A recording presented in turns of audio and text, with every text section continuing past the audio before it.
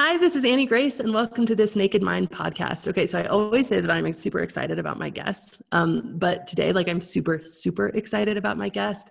I came across Isabel's work, must have been close to four years ago, and it was through a mutual friend, a good high school buddy of mine, and he introduced me to her work, and I was like struck because I was like, oh my gosh, Isabel is doing for food what I have been helping people with for alcohol, and so luckily our paths just actually crossed in real life recently and i'm like kind of geeking out a bit because i've been like super uh, fangirl for for isabel. But anyway welcome Isabel Foxen Duke. Thank you for being here.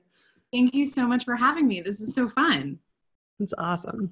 So you um, isabel's founded stopfightingfood.com and i think the best place to to start is like we'll get into all the cool stuff and all the techniques and and everything else but i think the best place to start really is just kind of with your own story and your own journey and and how you got to to found this amazing company yeah so you know my story i when i was you know i used to think it was really unique and that there was like something deeply uniquely wrong with me around food um, and now i realize i'm actually not that unique and there are lots of people um, who have a very similar story to mine like sort of slightly edited from you know little details here or there but um, basically i was uh, put on a on my first diet when i was a really really young kid i was like kind of like a chubby baby, so to speak. I don't know. I was like high on the baby BMI scale or whatever.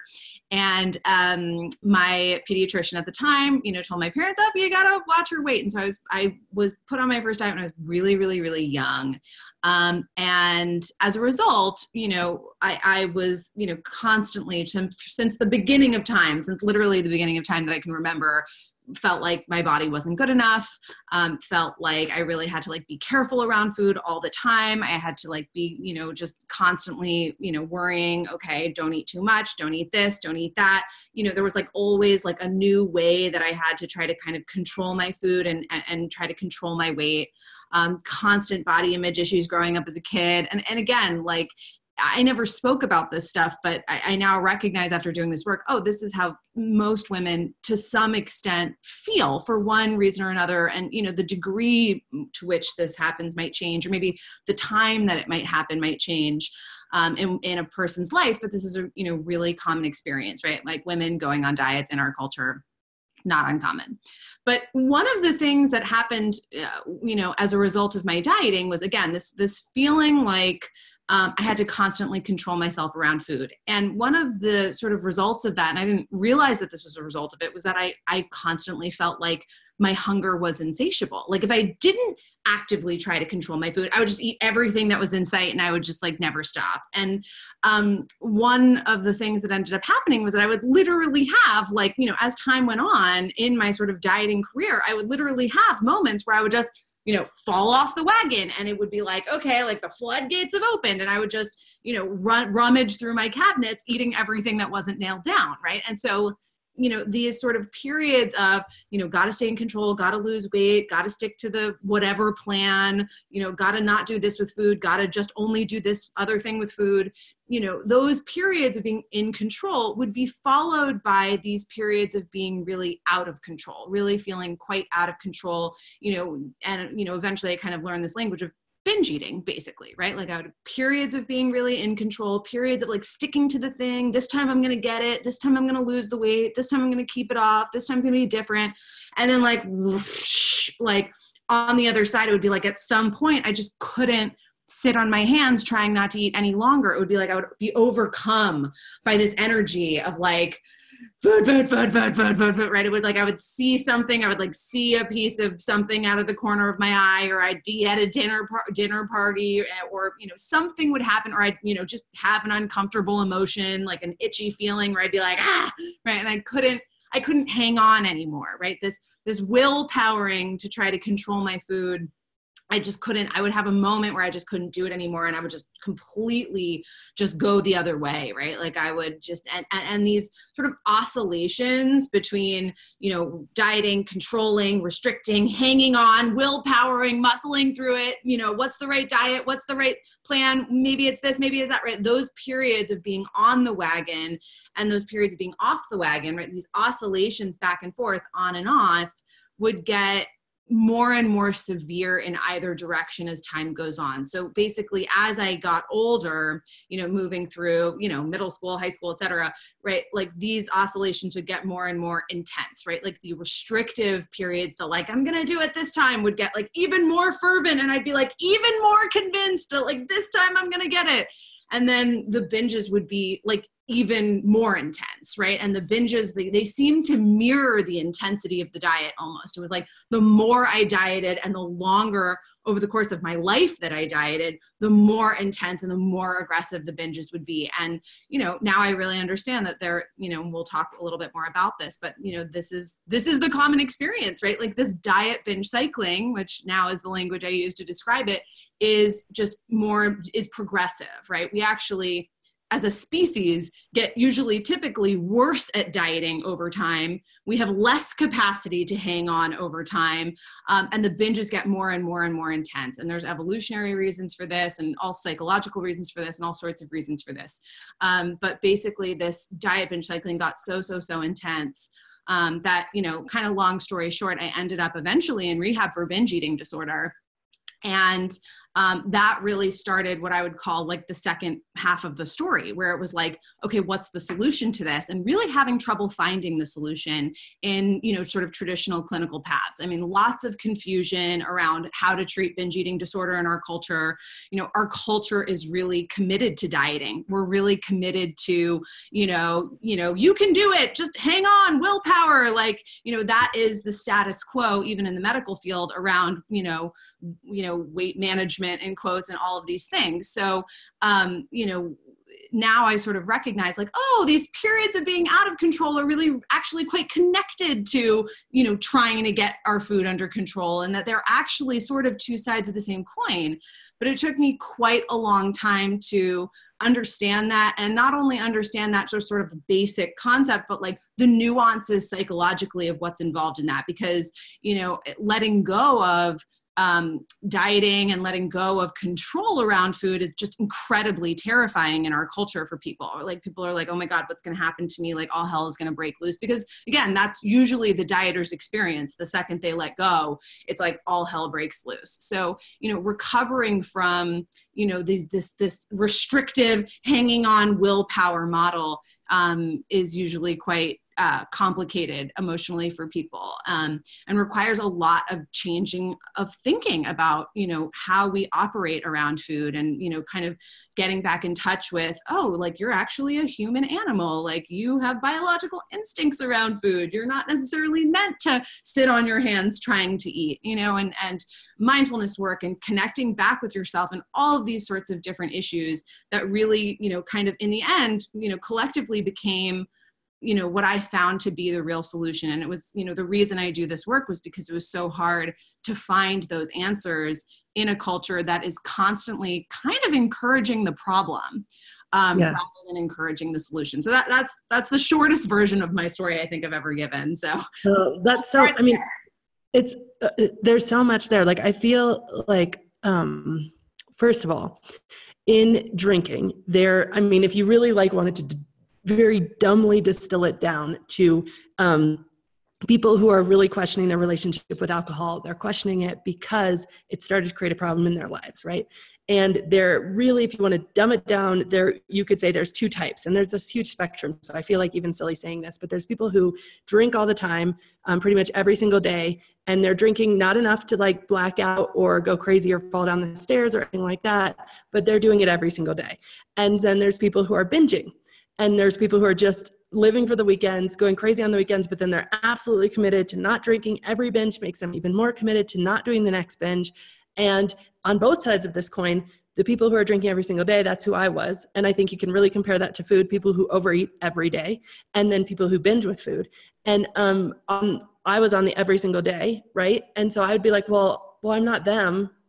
I'm not falling down the stairs. I'm not I'm not binging. I'm not falling apart once a week, right? But then on the binge side, they're looking at me saying, okay, well, I don't drink every day. Like you're drinking a bottle plus of wine every day, right? And so there's this whole dichotomy, and we think, okay, these actually are things that have to be treated differently. We have to treat binging differently than we have to treat like this regular drinking.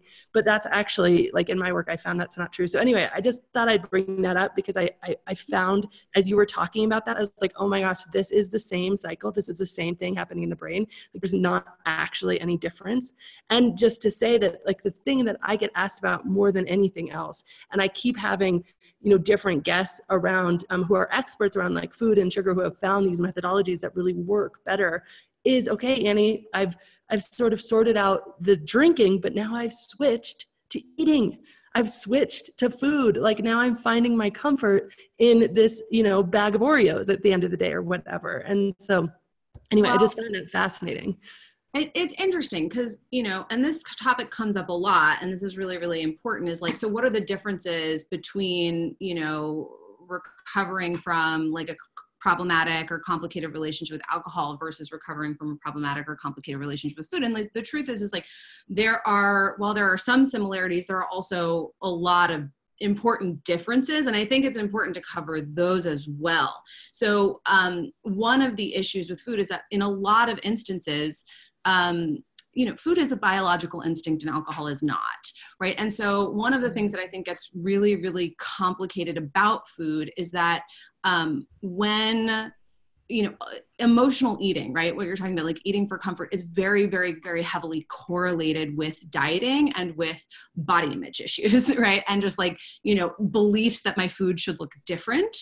Um, and so you know with like quote unquote emotional eating overeating binge eating you know all compulsive eating whatever you want to call it you know these things almost always go hand in hand with attempts to control a, a, biological instinct that was never meant to be controlled. So that is um, a little bit different, right? Like this concept of overeating you know doesn't usually come out of nowhere just for the sake of coping. It always goes hand in hand with this other thing called dieting that tends to be can be really compulsive for people and they don't even necessarily recognize it as compulsive because it's so culturally mandated right? Like of course i'm supposed to be on a diet. Of course i'm supposed to be constantly trying to control my weight right? Of course i'm supposed to be thin thin thin thin thin thin right? And so it's like that thinking is often actually what's driving both emotional eating behaviors and binge eating behaviors. And I think it would be really important for us to distinguish between those two things and what those things are.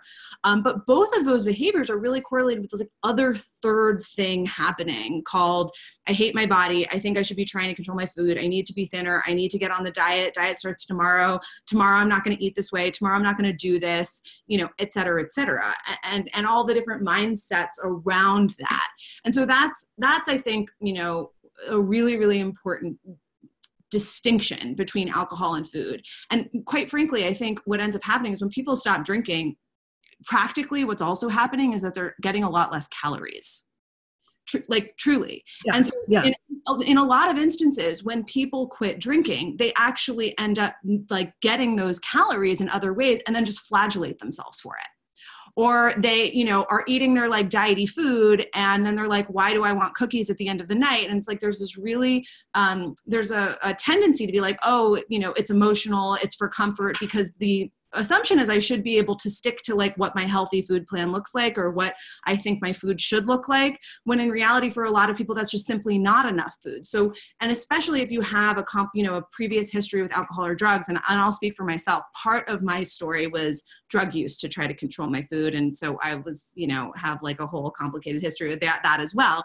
Um, but it's very very easy to be like oh food is just like alcohol it's the same thing and it's it's it's in many instances actually there are very specific differences and the major major major major major difference is dieting right and the impacts of dieting on how we um, like how we operate around food. Like if you're a person who has a history of dieting, has a history of trying to control food, has a history of body image issues, your the likelihood of you, you know, using food for coping or comfort goes up like infinitely.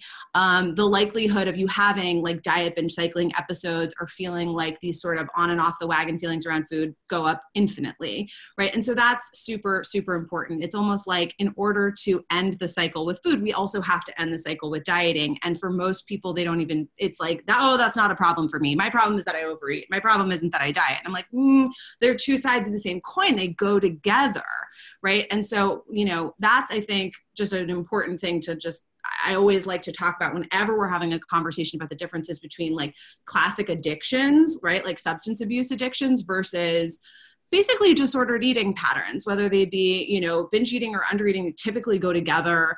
Um, you know, dieting, emotional eating typically go together, right? We call these, these are process disorders, right? So um, it's not just the food that's, you know, it's not quote unquote overeating that's happening in a vacuum there's this other thing called you know dieting and body shame and you know feeling like i constantly needing to be control my food that's also happening. And um, that can be quite compulsive as well but we of course don't call it a compulsion because it's socially sanctioned right? Yeah yeah. And i think it, i really appreciate that clarification because i think it is so important to talk about because for for one thing you can't just and people have told me this all the time like i picked up your book for chocolate it didn't work. I was like well it's because they're different things right? Like it's not going to work for chocolate and that is a huge reason i wanted to invite you here today to have this yeah. conversation. But i do think as you were talking i did notice another um, similarity that might be worth just a, a quick conversation about is that what what it took for me to really get back in control in my relationship with alcohol is I had to stop trying to stop drinking. Yeah. like, what? What do you mean? Like, I was on the diet cycle with alcohol. I felt like I was on a constant diet because I, our culture again says you have to drink responsibly. Drinking responsibly means different things. By the way, that probably came from the alcohol industry to begin with. But anyway, that's a tangent. But drinking responsibly means different things to different people. And so when you realize you're on the edge or the fringe of responsibility, or you realize you're on the fringe of like this is creating a problem or pain in my life, then what do you do? You automatically start to reduce it or restrict it. And mm-hmm. although I totally agree with you, alcohol is not a biological need initially, it right. becomes a psychological need at a very deep level because it is an addictive substance. So, like the dopamine release makes it into something that your body actually does think is vital for survival. And so that does happen. And so then when you try, the people who have the most problems with alcohol are not necessarily people who are just drinking whenever they want to drink. It is the people who have realized that drinking whenever they want to drink isn't getting there and them anywhere good. And then they start trying to reduce their drinking and boom, all of the sudden things escalate no to a point where it's like crazy town, right? right. And that um, was really so. After a few years of that cycle, when I said, okay, I'm going to stop trying to stop drinking and I'm going to approach this from a different way. I'm going to start learning about why in the world do I want to drink so much in the first place? What else is going on? What's below the surface? That's when I was finally successful. So anyway, I just, I just, and that's why I just love your work so much is because I, I do feel like, yes, there's differences, but also like we're coming at this in a very similar way. Yeah, I mean, totally. Because it's like, I mean, it's like the there's the sort of biological aspects with food, but and then also psychological aspects with food. Like the kid who's in the store being told not to touch touch, touch the toy wants to touch the toy more, and that is a hundred percent 100% true with food, right? Like if you're shaming yourself for something you're eating, if you're trying to like, oh my gosh, I'm not going to eat this anymore, I'm not going to eat this way anymore, even, and this is interesting because this probably does relate to food, like even quote unquote emotional eating, right? Like if I say, oh my gosh, I shouldn't be emotionally eating, and I'm flagellating myself for emotionally eating, even that can trigger this sort of like, okay, like all I want to do is eat, kind of like reactionary eating, falling off the wagon kind of eating. Um, it's really interesting. Like I used to, one of the, my last diets, so a- after I went to rehab for binge eating disorder, and also there was like the drug stuff and all of that, but typically I just focus on the binge eating disorder because that's my my cup of tea. But um, after I got out of rehab, you know, I was like trying out all of these different things because all these different experts were telling me different, you know, methods of treating it. And one of the various things that I think was one of the most popular things, even today, one of the most popular attitudes towards healing binge eating is this sort of like, you know, um, don't is like don't eat emotionally. I, I used to call it the don't eat emotionally diet, where instead of like non-judgmentally looking at our feelings and being like huh that's interesting. Like i've noticed like i'm not hungry but you know there's this you know thing. I'm like kind of having like an itchy feeling. I'm uncomfortable. I'm having like a little craving. I want to like you know let it go. Instead of looking at that non-judgmentally and actually just like giving yourself the choice to do it if you want to do it but like also being aware of your feelings and like being mindful but like without this feeling of i can't do it. Like it's i also call it the mindfulness diet sometimes where you're like trying to be mindful so that you don't do it right? And it's like you're trying to trick your brain into not mm-hmm. doing the thing through like mindfulness or through whatever. And it's like that doesn't work either. It's like your subconscious knows what you're up to. Like you actually really do have to look at the behavior non-judgmentally and be like, you know what? Like if I want a cookie for no reason other than the fact that like I'm sad and I want comfort, like that's okay. Like that really is not the end of the world. Like it's a cookie. Like it's fine. And even if it's 10 cookies that fine although I, I, will say typically and this is a really good opportunity to talk about the differences between binge eating and emotional eating, right?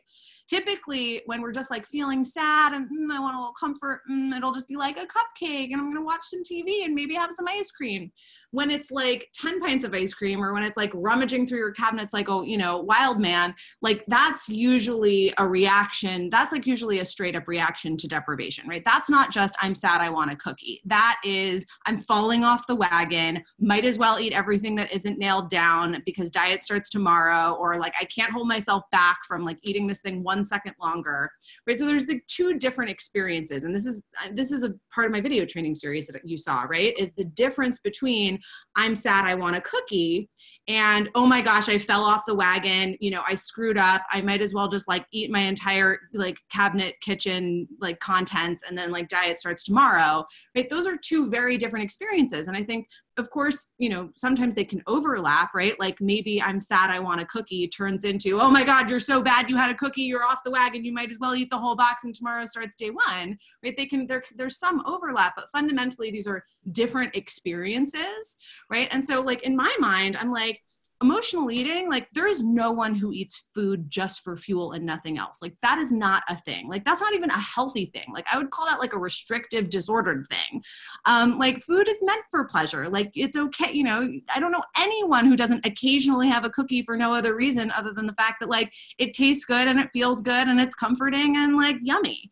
Um but you know what we can avoid right? Like what actually can stop is this oh my god i suck. I shouldn't have broken you know i broke my diet. I fell off the wagon. I might as well eat the whole contents of my cabinets. And then diet starts tomorrow right? Like that's a behavior that actually can be we can be rid of for good. And one of the reasons that i think people stay in the diet binge cycle even through all these like mindfulness practices and all of this intuitive eating and you know etc is that they treat it like the mindfulness diet. They treat it like the don't eat emotionally diet. They treat it like you know i fell off the wagon i crossed some imaginary line of it's not okay anymore and now i'm like off to the races i'm off the wagon you know? And so it's super super important to kind of like really give yourself permission. Like the first step to ending binge eating is giving yourself permission, full, true emotional permission to eat whatever you want whenever you want it.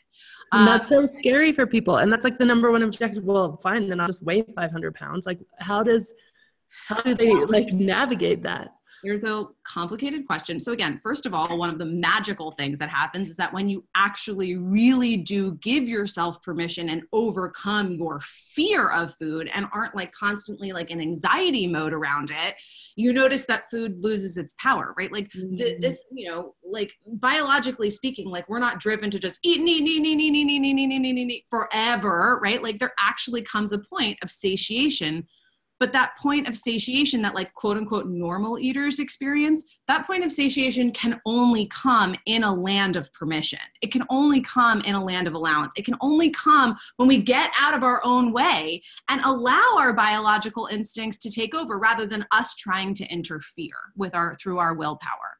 When we try to interfere through our own willpower right what ultimately ends up happening is like our biological instinct our biological drive to eat like freaks out. It's like, oh my gosh, she's putting me on the diet. She's going to starve me tomorrow. Better get it in now.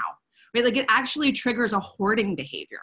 Right. So these, you know, if you're, you know, if you're a person who's struggling with like binge eating, basically, um, binge eating immediately basically diminishes once you're like actually allowed to have the cookie like if you were just allowed to have a cookie whenever you want or even allowed to have two or three cookies whenever you you know were allowed to have it it probably wouldn't turn into a whole the whole box um, that being said, I think that there are instances, of course, physiologically when people do eat the whole box, whether they're allowing it or not, because they're not eating enough during the day, because they're dieting, or because you know, you know, all of these different other physical restrictions. And this is another, you know, kind of distinction between alcohol and food is that because we live in a diet culture, people are basically constantly running around, either trying to um, undereat, either trying to restrict their food, trying to eat not as much as they actually need, or actively not eating as much as they need, and then wonder why you know they kind of lose it in a box of cookies, you know, a couple days in or whatever. Um, so there's there's these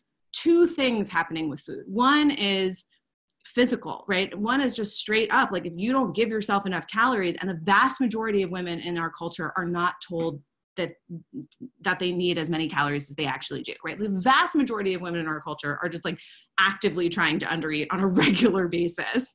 Um, and then wonder why they like break their diet or like lose it or have the box of cookies or whatever you know ever so often. Um, and it's really just you know in many instances like your body's just catching up like it's just literally a physical reaction.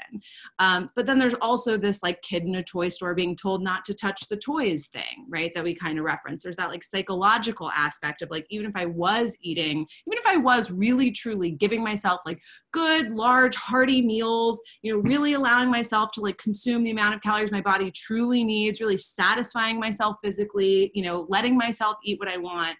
If i go if i emotionally am feeling like oh my gosh i shouldn't be doing this. This isn't okay my brain is like in this like judgment zone of like i should be trying to control this i shouldn't be doing this which just again it just makes you want to hoard the thing. It's like the kid in the toy store being told not to touch the toy. So there's like levels of how restriction can lead to binge eating or lead to sort of these like compulsive eating behaviors right? There's physical um, levels there's emotional levels right? And you know really it's like with food in particular there has to be like a really really deep surrender when you have like a really really deep surrender of like i'm just done. I mean this is this is i'll just speak for myself.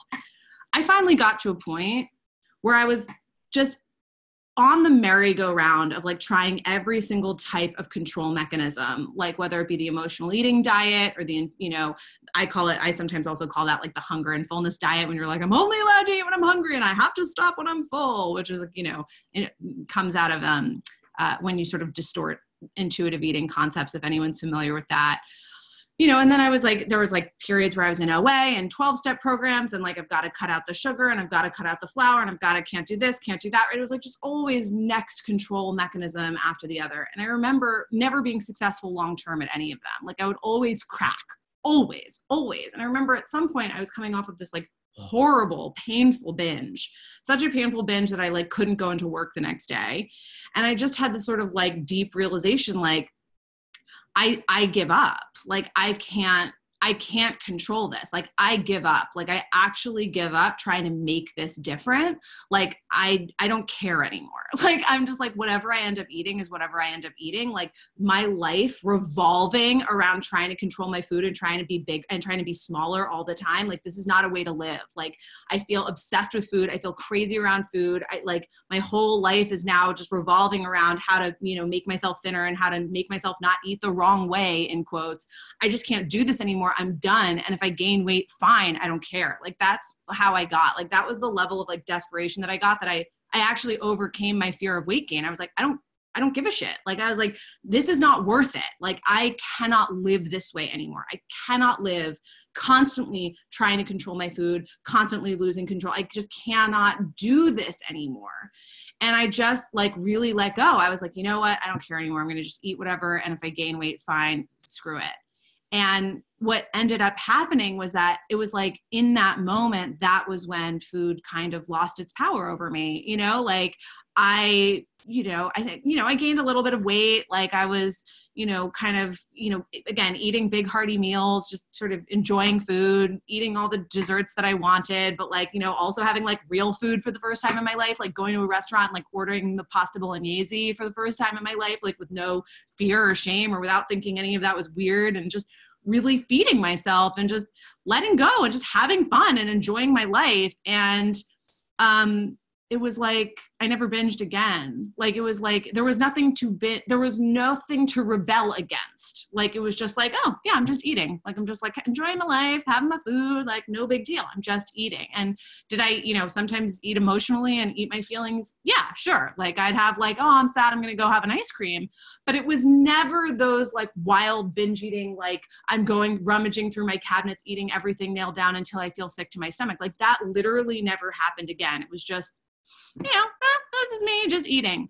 And, you know, I, at some point, my weight just became a weight, you know, like I like gained a little bit of weight in the first like year or two, maybe.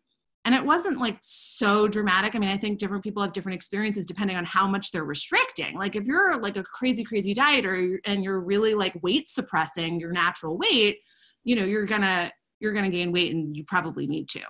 Um, but for me like i was never a very successful dieter so you know i was already pretty close to my natural weight and i just kind of you know eventually i think i gained like a tiny bit of weight coming off of my last like little control effort and like that was it. I was just food just it just it, it, it emotionally stopped being an issue for me because i was like i just don't care about this anymore like screw it.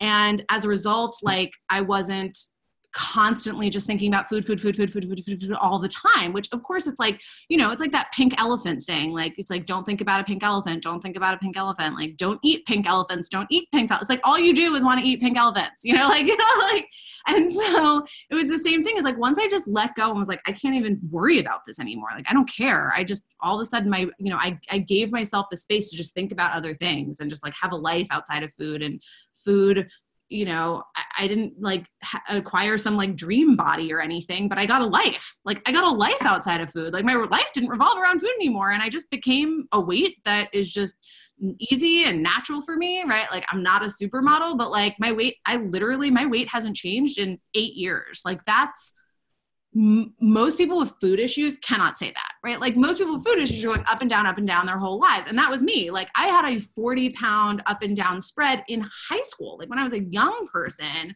Um, and like, you know, now I literally have been wearing the same jean size for eight years. Again, like I'm not some like dream body. I'm not like the same size that like in my fantasy I was like trying to get to back then but I'm just a size that's easy and natural for me to maintain, right? Like it's just like, yep, and like I eat what I want. Sometimes I eat cookies when I'm sad and it's just it's just no big deal. It's just my body's just doing its thing. I'm out of the way. I've dropped the reins. I'm still I'm not the one trying to like control it anymore. It's just happening by biology, by nature, right? And um yeah and it's just like so freeing. It's like okay i remember when i was in rehab this was after i like went through my period where i was like doing drugs to control my weight. Like i was like doing a lot of coke to try to control my weight. And um when i uh dr- like basically i remember thinking when did I it went work by the way? What? Did it work oh yeah i lost a ton of weight. I mean i ended up in rehab so like what's your definition of working you know like yeah. yeah like did it work? I mean like i lost weight good for me but like i literally ended up in a rehab facility and had to drop out of school. Like nah, working? Uh, i don't know. Like, so you know, but I remember thinking like, okay, if I gain, you know, I had like an X number of pounds, like, okay, well, if I like gain, you know, a certain number of pounds, I'm just gonna go back to drugs. Like I was like, I'll give this recovery thing a shot, but like if I gain a certain amount of weight, like I'm going back to drugs. And, you know, now I'm well beyond that size. But it's like I just realize now I'm like, oh, this is just where my body wants to be. Like I don't, I'm not fighting my body anymore. And I think, you know, to answer your question, like, you know, how are people not 500 pounds in quotes? Like, it's like I would encourage you to think about like your quote unquote normal eater friends, right? Like who don't have food issues. Like they're not trying to control anything. They're not trying to force themselves to be a certain size. They just are the size that they are. Like our bodies actually have it's called weight set point. Are you familiar with this weight set point theory? Have we talked mm-hmm. about this? Oh my god, this is so important. Okay. So um your body actually has like a natural like genetically determined size that it kind of is trying to be right like in the absence of interference and we can talk about what interference means there's a lot of few different definitions but dieting would definitely be an interference right in the absence of interference when you think about just like quote unquote normal eaters who are just going about their life, like not really giving a shit, just like eating when they feel like eating. Sometimes they might eat cookies for no reason, sometimes not, not a big deal, but like mostly they're just living their life not thinking about food, which is the dream. Like that's what I actually eventually got to the point where I was like, this is my goal is sanity. Wherever my weight ends up, I don't care. I want sanity. Um, and you know those normal eaters right like they're not 500 pounds necessarily just because when because they're not controlling their food they just are they just have a weight some of them are a little bit bigger some of them are smaller some of them are this size some of them that size but they have a weight that they just kind of are that they just sort of stay at right? And it's just that's their genetically predisposed weight, you know? Like this is there is so much science around this. Like you know if you have like any friends who are normal eaters you'll notice that your, your normal eater friends are probably roughly different sizes and they kind of just look like themselves every time you see them because that's just the weight they are right? Like and so when we get out of our own way we our body is sort of working to kind of get to this genetically predisposed weight. Um, i think what gets complicated is that some people's genetically predisposed weights are higher than other people's. And in our culture we have like a real assumption that like if you're a higher weight person that means that you must be doing something wrong with food and you're really screwing up and there's something wrong with you. And that's just not scientifically accurate. Like there are actually really healthy people who just happen to be a little you know bigger. And that's it's just the way their bodies are designed, right? Um, and so a big part of this is like I didn't know any of this science when I let go. I was just got to a point of desperation where I was like, I just don't care. Like if I gain weight, I don't care. Like I just I have to get out of this hell of obsessing about my food all of the time. Um, but after I had this experience of like really letting go and just like eating what I want, like not worrying about it, and like just i just arrived at this weight like i gained a little weight and at some point my weight just stopped changing like it was just like Boop, you're here, you've made it. And again, my weight's been the same for eight years through every vacation, through all the foods ups and downs, through like mono and through, uh, you know, maybe there's like minor tiny fluctuations, but for the most part, I've been wearing the same pant size for eight years because this is clearly just my natural body size. Like this is just where my body wants to be. And so, you know, I think, you know, what ends up happening is when we interfere, when we try to shove our natural weight down, that's when we binge, right? Like that's when we rebound. Like this is why people say 95% of diets fail. What that really means when you hear the statistic 95% of diets fail, what that actually means is that 95% of people who try to lose weight are going to gain it back. 95% of people who try to weight suppress, this is new language, right? 95% of people who try to suppress their natural weight are going to gain it back, right?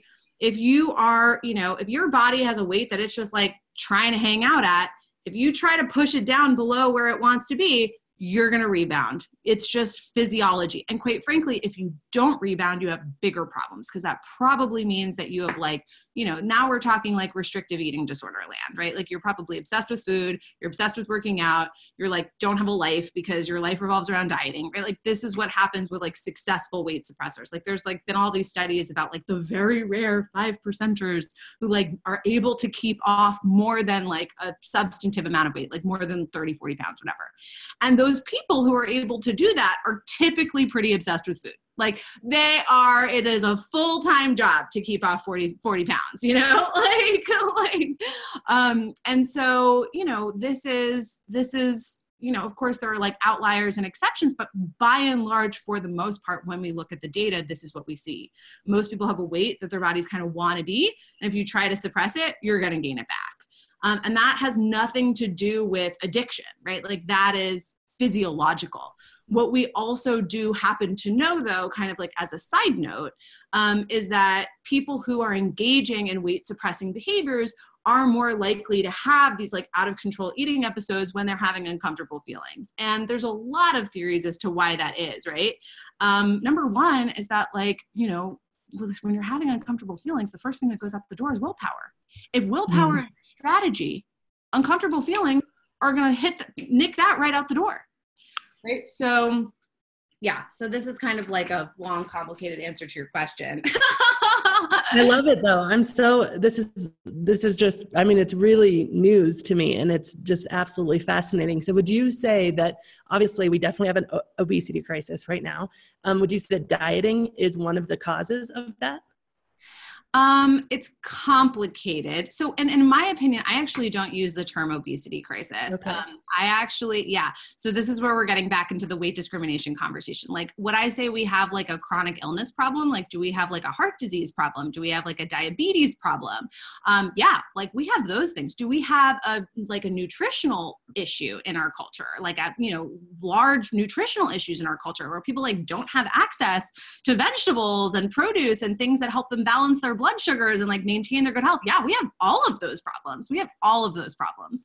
Um, but, you know, pegging that all on fatness is really um, uh, misguided, right? Because what mm. we're doing is instead of actually dealing with the real problems that we have, which are things like industrial corn syrup and like, you know, like all of these different issues that are impacting people's health and creating problems like diabetes and heart disease and, you know, all of these various different things that are going on, we immediately are just like you know this thing that may be correlated with you know basically like poor health behaviors um, which by and large are often also not the fault of the individual. In most instances in our cult culture it's like access issues and you know socioeconomics and you know all sorts of other complicated things. Um, but for the most part like it's it's really really problematic in our culture that we instead of talking about you know oh we have a diabetes epidemic oh we have a chronic illness epidemic oh we have like an industrial food problem like instead of really talking about the actual issues we just like peg it all on weight when weight in and of itself is not really the issue right? Like fat like heart disease like diabetes for instance isn't necessarily caused by being fat diabetes is caused by having like blood sugar regulation issues and one of the symptoms of that may also be weight gain right like it's like it's sort of like um there's um a really famous researcher who I love in this field. Her name's Linda Bacon. She wrote a super, super important book called Health at Every Size, which basically she says, you know, blaming our health epidemic uh, our poor health epidemic on fat is like blaming lung cancer on having yellow teeth right mm. like it's like you know just because people who have yellow teeth are more likely to have lung cancer doesn't necessarily mean that having yellow teeth causes lung cancer. If you went around and whitened everyone's teeth, it wouldn't make the lung cancer go away. Maybe there's this third thing, this other third public health issue called smoking happening. That's the real issue behind, you know, lung cancer and yellow teeth, right? And that's what we actually have to deal with. And that's sort of what's going on with, you know, our, you know, health crisis in this country right? Is that you know we have a really we have really really complicated health problems chronic health problems in our country in this country that are caused by lots of that are just super systemic and super institutional. Again industrial corn subsidies all these different things that are creating problems like diabetes heart disease you know et cetera et cetera. And it's very lazy of us as a culture to just like call that fat call the problem fat because fat is when fat is really just like, sort of like a it's a correlative issue right? It's correlated to these uh, health issues right? It's correlated basically to like a major nutritional issue that we have in our culture and in our country but fat itself is like this it's like almost like a third level issue. It's like almost like this like side issue and we're blaming everything on it like assuming that if, like if we can just make people thinner we can get rid of all of these like health problems that we're having when in reality what ends up happening when you try to make people thinner is that they go on and off the wagon. It's it's again you have all of the issues that come from putting people on diets right? So it's like you have somebody who's you know whatever weight they are, like higher weight ranged person who has diabetes, and you say, okay, go on a diet and lose weight. What is 95% chance going to happen is that they are going to lose weight temporarily and gain it back and lose weight and gain it back and lose weight and gain it back which by the way is probably going to make various different health problems worse. Yo-yo dieting going up and down and up and down and up and down especially for heart disease. Yo-yo dieting going up and down and up and down is significantly more um, problematic for your cardiac health than just like staying still at a higher weight and like just taking care as best you can of your body at whatever you know weight your your body wants to be. Now will some people if they were you know able to change their behaviors lose weight? Yes. But what ends up happening also when we throw the dart and just blame fat is that people who are naturally a little bit bigger get screwed over and get poor health care right? Especially like now one of the um I hope I'm not getting too sciency here, but so one of the big issues that's also happened in our culture is we have, you know, basically decided that instead of this as being a systemic issue, you know, that has to do with like our food systems and all these kinds of other issues, instead of this being a food a systemic issue, we've decided it's an independent willpower issue, and it's up to the individual to make sure that they're no longer fat, right, or to make sure they're they don't get diabetes or all of these issues. Um, and one of the ways that uh, our basically our government, right, like this was in the early 90s, decided they were going to try to help people become healthier was to like literally just decide, oh, we're going to tell people that a healthy BMI range is significantly thinner. We're going to move the average. We're going to move these like sort of arbitrary healthy BMI ranges from, you know, 20 to 28 and we're going to push it down to 25 to 18 to motivate people to lose weight. So basically, we're just going to decide arbitrarily that the new healthy weight is thinner than we used to think it was to motivate people to lose weight because we're you know seeing these increases in weight related illnesses. This is a disaster because what ends up happening is that people who are just naturally bmi 25 like i'm bmi 25 technically i'm on the cusp of overweight according to like clinical science. And like anyone walking down the street would call me a normatively thin person. Like there is like i am a you know super super healthy like it is insane. Like it, like it's it's amazing to me. When people talk about the obesity epidemic they don't realize that the obesity epidemic technically includes people who basically look like me who anyone walking down the street would think i was normatively thin right? Like i'm like a size 8 10 maybe online i'm 5 6 you know? Like no one would consider me part of this obesity epidemic, right? But like, this is how the numbers are skewed, right? So a lot of this is like fear mongering, first of all. Um, but yeah, like, so, you know, in blaming all of these health issues on weight, wait, wait, wait, wait, wait, fat's the problem, that's the problem, that's the problem, basically taking no responsibility for all the systemic issues that are creating actual health issues like heart disease and diabetes um, people who are just naturally a little bigger end up getting screwed. They end up getting trapped in the diet rate, diet race, rat, rat, excuse me, diet race, rat race. they end up getting trapped in the diet rat race and end up having significantly worse health outcomes including like psychological problems mental health problems dieting is like heavily correlated with anxiety depression suicide i mean eating disorders are like the high, most fatal mental illness that exists right like basically people who are just naturally higher weight who are completely healthy normal people get trapped in you know this really really really really screwed up cycle. So i would say that you know are people fat because of dieting I think people, I think like the rise in weights in our culture in the past, let's call it like 30, 40 years, is like super complicated. And there's like a lot of different reasons. Again, some of them just systemic that have nothing to do with dieting, potentially some of them having to do with dieting. That's certainly a theory that is out there that makes some sense. Um, but I think the bigger issue is that, like, you know, some people are just naturally bigger. I think the bigger issue with pegging all weight related illnesses, in quotes, on fatness and blaming fatness for everything rather than like actual health behaviors. Um, is that like people who are naturally larger bodied are basically discriminated against in our medical system and end up getting like really really really screwed up care i mean it's just unethical to like put these people on diets when like we know that the reality is that they're just going to rebound and it's like not there's no evidence that it's actually healthful for a lot of people. I mean people it, it gets really really complicated really fast. Um, so yeah so anyway this researcher who i mentioned earlier who um, wrote this book called health at every size you know like her real call to action which is you know a, becoming a major movement um, in the health industry is let's stop focusing on weight and actually start focusing on healthy behaviors. Like it doesn't matter what I weigh if I'm like working out on a regular basis and eating vegetables and balancing my blood sugar. Like those are the things that are important. What weight I end up at the end is whatever weight my body's supposed to be. Like if I focus on weight instead of focusing on behaviors, I'm just going to go up and down and up and down and up and down. I'm just going to end up like in the diet rat race, like with all the hell that comes with that, you know, potentially more and more disordered eating and psychological issues and just all sorts of crap. Whereas if we just taught people like take care of the body you have, you know, eat your vegetables, like you know, move your body on a regular basis, manage stress, get enough sleep, drink water, right? Like just encourage people to just take care of the bodies that are their own rather than like shaming people and trying to constantly get people to like jam their square peg of a body into a round hole. We would have a lot less um, secondary symptoms from like weight discrimination in our in our in our culture. Okay, so you just probably officially became my favorite person because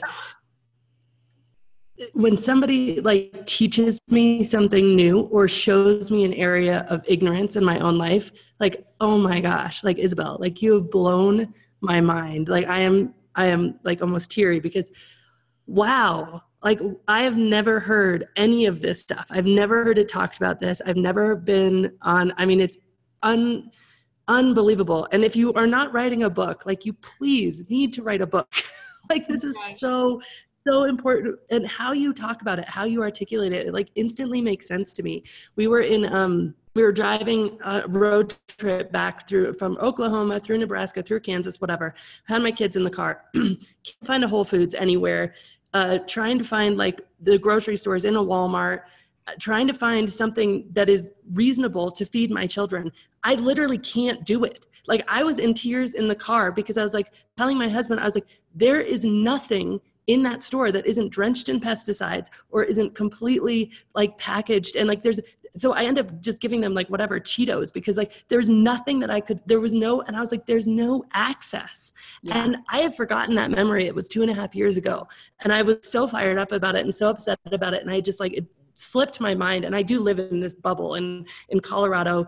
And you know we have like lots of vitamin cottages on every street. And like we're really blessed in that way. But um what you said is just so true. I just visited my aunt in Tennessee, and it was really, really difficult to find baby food that I wanted to feed my baby. Um, and I and I have this level of awareness around food that's like pretty high because my parents grew up hippies in the mountains, growing their own food, raising me very clean, all this stuff. And so, like, to hear you say that, wow, I, my mind is just like blown right now. Like, I I have just really exposed this point of ignorance in myself that I was completely unaware of. And I just appreciate you so much for that. And I do hope you write a book because holy cow, like you need to like shout this from the rooftops. This is unreal, girl. Oh my gosh, yay. I'm so that literally makes me so happy because like this is why I do this work is so that like to like teach people because is so important. By the way, I have to say I am definitely not the only person talking about this stuff. There is like a whole like underground movement happening. Like let's take the focus off of weight. Like let's just like like relax about the numbers and just actually focus on what really matters, which is like helping people like do healthy things and have access to healthy things and like let's focus on access and behaviors and institutional problems that are causing all of these health issues like we're blaming everything on fat and it is like so damaging like psychologically like it is damaging on so many different physically it's damaging like it's just like it's a nightmare and it just doesn't help anyone or do anything. Like all it does is like exacerbate like disordered eating and all of the different like health consequences of yo-yo dieting you know all of this crap. So i'm just like so i'm so happy to hear your reaction because i'm like yeah like this is this is the real issue. It's like like we are all like so distracted by this weight conversation over here it's actually just keeping us from talking about the real issues which are things like access which are things like you know um, the fact that like you have to drive 50 miles to like get out of a food desert in like most of this country you know and, and all of these other issues. So you know i just think the weight conversation in, in many ways it's it's really it is it is it's letting our government off of the hook of actually having to like maintain a healthful environment. Like at the end of the day, we are animals. Like we're not robots. Like we do have biological instincts around food. Like if you put us in a poisonous environment, we're going to get poisoned. Like we don't, you know, if you like we don't have an awesome ability to like navigate a poison environment nor should we have to right? Um, and so you know blaming individuals for getting poisoned when they live in a poisoned environment is not useful right? Like like it's completely um, and one of the ways that the government basically pegs you know basically says like it's your fault for getting sick is through this whole like diet culture um, paradigm. So like it really just needs to go you know? Like I'm I'm sold. I I see that like it's when you hear something that's true, you just can't help. Like I'm never gonna not know that. Like this has just been such a a beautiful hour for me because I'm like wow, it's just amazing. So yeah. I know that a lot of people um, who are listening probably do struggle with with feeling crazy around food and with binging and with um, replacing some of their binge drinking and i know that it's totally different but i do think that people have a tendency and i've i've talked to dozens of women who like those those for them the binge eating the binge drinking like they have to both go at once or neither one of them go actually because if they start drinking they start eating vice versa. Um, but if, if people really you know what you said has has resonated especially as much as it has with me where can people find you and and where can people learn more and get more involved? Yes and i just want to make one comment about like the drinking and binging. So another thing that we should know about drinking and binging and this is also research that's in that book health at every size that i referenced earlier is that one of the so it's interesting dieters tend to quote lose control around food when either experiencing emotions or when under the influence of alcohol or drugs mm. right because what ends up happening is it kills your willpower right it's like right. people are if you're trying to like control yourself around food all day the reason you binge when you're drunk is not because you're drunk. It's because when you're drunk, your willpower goes out the window. And all of a sudden, it's just like the floodgates are going to open. You're going to do everything you want, right? It's like all of your, right? So it's just like something to be aware of. Um, what I would say it's interesting, it's like, you know, like my you know managing the drinking and managing the food it's like complicated because they i think there's a te- there's this there's this idea of like i have to like get rid of the binging and the drinking together but i think you know for most people with food issues again there's this third issue called dieting that really predisposes all of the binge eating and emotional eating and all of these different kinds of things. And what ends up happening when people you know you know there's various different reasons i think where, why food issues flare up after people quit drinking. But one of the reasons is also when people quit drinking like dieting is also very compulsive right? And it's like all of a sudden i'm not drinking. I'm not just like zoned out all the time. I'm like i'm gonna get in shape. I'm gonna like you know get my life together. It's like when people are sober they go on these like health kicks right? And then often, if those health kicks are like, oh my gosh, I got to lose weight, what ends up happening is they end up getting caught up in the diet binge cycle. And that's super, super, super common. Like, I cannot tell you how many people I know who quit drinking. And like, it's such a, it's, so it's part of sobriety culture. Like, even in like 12 step fellowship stuff, like, I hear this all the time. Like, it's part of sobriety culture of like, I'm going to like, you know, get healthy, which is really great. But if you're living in a culture which equates weight and health, now you're just in the diet rat, rat race and now you just have like a different cycle that you have to get out of so that is really really common experience um, and again, there's like the whole thing with the calories and like ap- alcohol can appetite suppress and blah, blah, blah, right? Like there's a lot. And, and yeah. again, anyone's interested in this conversation, I have a lot more to say about it. So yes, take a look. I'd my- love to, I'd love to have you back because I'd love to dig into this a little bit more. Um, yeah. because especially because when you said, and I wrote it down, you said salvation can only come, um, or satiation can only come in a land of permission and allowance. That really resonated with me because i feel like with my with drinking it was at that moment that i decided that i was going to stop trying to stop that i actually learned enough about what was going on and what the substance of alcohol was that i mm-hmm. took away my desire to actually drink now i know it's different because you can say i'm never gonna, i don't want to drink anymore you yeah. can't say i don't want to eat anymore and so that complicates eating obviously so much but i just really felt like that really rang true for me like it mm-hmm. was that point of permission. Mm-hmm. And I still say, like, I just don't want to drink. It's not that I'm never going to drink again because as soon as I say that, like you said before, it's like the kid don't touch the toy, and I yeah. get super like ah. Um, yeah. But anyway, so that's so good. So yeah, so where let's definitely like plan another one. But where can have people, a part two? Yes, we have to. It's amazing. Talk to you all day. there's so much. There is so much going on, and it's interesting because, like, I, you know, I mean, I've been doing this work for so long. Like, I know a lot of like the intricacies of like, okay, so like, what happens with like, how does this interact with sobriety, and how does this, you know, there's all these different like little nuances to talk about. So yeah, I could talk about this all day, and it's something I don't get to talk about, you know, on other podcasts as much. So I'm in. But um, right. yeah, if people are like, huh, I want to know more about what you're talking about, and I don't think you're a total crazy person yet um, go to stopfightingfood.com that's definitely like the place to get like you know it's a it's you i mean you've taken my video training series. It's like a really you know just okay. easy introduction. Like here are some core concepts like let's get you thinking about this differently. Some of the things we talked about i did not mention today. Some of the things we did like um, a big one is the difference between emotional eating and binge eating. That's like a huge, huge, huge, huge, huge must, must, must understand concept. Um, and yeah, so stopfightingfood.com, sign up for the video training series. It's like super beautiful and fun and like awesome. Um, and then, I mean, if people want to even go deeper, you can also check out my blog, um, isabelfoxenduke.com, which is, you know, like reads like a book like it reads like a novel. It, it kind of is like you know a first quarter or something of my book. It's like a beginning of my book maybe. Um, and you know that's a really really great way to like also kind of like just get a completely new perspective on this food issue because the way most people are thinking about food is just making the problem worse. Like it's just actually like pushing them down this like progressive diet binge cycling. And they often don't even realize they're dieting. I mean, most, I would say 75% of my clients just don't, they don't identify as dieters. They're just like, I'm just trying to be healthier. I'm just trying to this, or I'm just trying to like not eat like too much or whatever. And they don't realize that they're actually like clinging on, hanging off the side of a cliff, trying not to eat something or some way.